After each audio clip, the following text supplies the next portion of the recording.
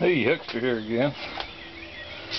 Tried to get up this morning before it got too hot. I guess I've been at it for an hour or so. Now the sun's up. It's probably a quarter to seven. Look at them beautiful dahlias. There's more dahlias over here. They're a mixed color, so we'll just be surprised what color they'll be. My ears are coming along. Tomatoes. I made another little tomato plant yesterday. Hadn't been around here to check on them yet. See what they're up to. Little tomato, tomato spot. Yeah, they look like they, they're going to be alright. I didn't spend a whole lot of time making this little plot, but I think it'll do the purpose. I've got so many tomato plants that are just going bad. Uh, everybody says, well, you planted way too many seeds.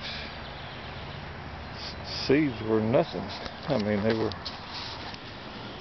you know, you get a, you buy a tomato at the grocery store and there's hundreds and hundreds of seeds in it. And you still eat tomato and get the seeds. But I'm going walk down to my garden and show you that had completed my last project I showed you when I was uh, on my last video. See you in the garden. This is where I've been getting my mulch. You can see the darker areas up there where I got it this morning. But, you know, I'm in amongst all these canes. Very plentiful in here, so I just rake it up and spread it out. So far, so good. I've had mulch on the ground for over a month and hadn't had any problems with it. So. Got a row of uh, beef steaks up there. My corn is coming along. My plans are once my corn gets harvested I can have my tomatoes already established in between the corn. This is with my arm stretched up as high as I can stretch it. And it's still a good foot over my head. And then there's one over there that's even probably six inches taller that's just beginning to open up. Live sunflower. I love them. This one here is, I'll probably save this one for the seeds for next year. See, there's hundreds of seeds. Uh, I didn't save the seeds from last year. These came up volunteer that had fallen to the ground and when I plowed they were ready to sprout. I don't know how well you can see, but I went down through the middle of the rows with my tomato plants between the corn, and I mulched them real good. Some of my tomatoes that I planted were fairly small.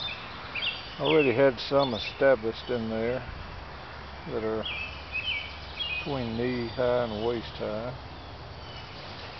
Guess some zinnias there. But I'm excited about my corn. My corn got fairly mature before it ever tasseled and uh, I'm just happy with it. But uh, I, I, think I planted about 35 tomatoes in here the other day, plus I already had about 10 down there on the front, so that's 45 plus the 9 that I already had in there. I'm to have a lot of tomatoes just on that end of the garden, and then on this end of the garden up here, I've got at least 30 or 40 plants, and then around through the yard, I may have uh, 20, and then back up there in that closed area, I have at least 20. I'm hoping to be able to sell some tomatoes. Everything's grown organic. I've uh, harvested about 20 uh, squash so far. I see the bees swarming around them. That's always a good sign. My neighbors are doing their best to kill off the bees. You know, this everybody complains about bugs in their garden. Who cares? They're not going to do that much damage. I had a little damage with cutworms when I first planted these tomatoes up here. I put out a little cornmeal one time. That took care of the problem. I've harvested about uh, 20 or so cucumbers so far. I've made some bread and butter pickles and some sweet pickles and I uh, made some dill pickles, but you know, those didn't turn out that good. But uh, I've been giving cucumbers away. Give all my squash away. I don't eat no squash. But yeah, my neighbor over to the left of me went over there the other day and he had five bags of ortho insect killer and it said on the bag kills up to a hundred insects and he's spreading it everywhere in his yard. And you know this the, the lack of bees around here is ask that old man right there. He'll tell you about the lack of bees. Uh, you know people just don't understand. Oh I want I don't want no birds in my yard they don't understand they're killing the bees, the butterflies, the moths, all these things that help pollinate, uh, keep us alive on this planet. Einstein said once the bees disappear, humans disappear within four years. I wouldn't doubt that. But you know, you get all these city slickers that want to perfect garden. They don't want to weed eat. They poison the ground to kill anything. I had one guy tell me he wanted to uh, spread weed killer all over where he's fixing to plant so he'd kill all the weeds and then he's going to plant on top of it. And I said, don't do that. Man, subjecting your family to all those poisons. But, anyway, that's my bitching for the day, I guess. The sun's up and it's getting warm. I don't know if I can capture the sun there for you or not. But I'm going to go in and cool off and cook me some breakfast. Peace, love, justice, understanding, gardening, music, and friends. One other thing I forgot to mention. Sunday, I'm supposed to have four elders and two sisters come visit me. I'm trying to convert them over to real Christianity. Uh, you know, Joseph Smith has many problems, in my opinion, when it comes to you know, I heard the president of, uh, I think his name's Hinckley of the Mormon Association say that uh, Christians claim that Mormonism didn't worship the real Jesus. He said that was true. We worship uh, the new Jesus uh, taught to us by Joseph Smith.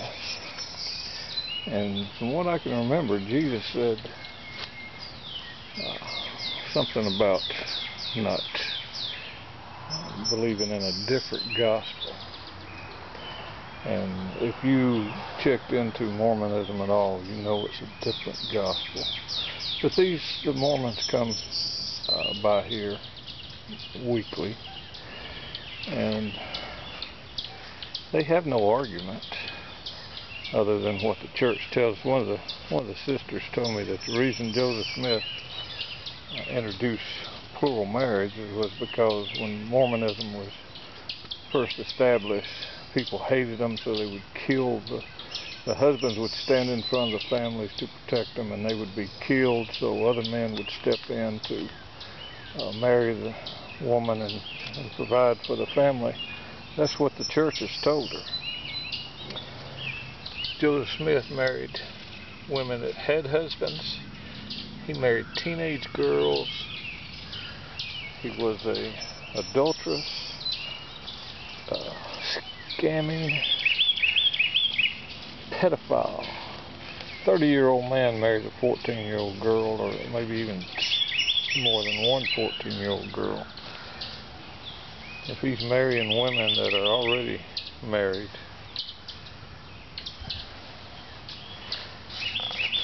but the whole foundation of Mormonism is based on Joseph Smith. They have to give a monthly testimony, and their testimony says, we believe that Jesus is the Christ, and Joseph Smith is the prophet. You don't make it to heaven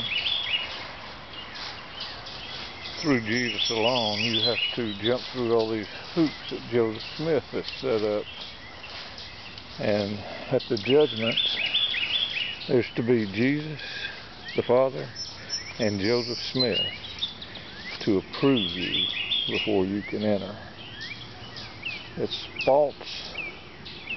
It's uh, it's dragging these kids down a path at locomotive speed to destruction and I'm going to do my part and everything I can to stop it. I'm not as knowledgeable as I'd like to be about the Bible, but I can jump leaps and bounds over these Mormon elders that go around uh, trying to establish their priesthood.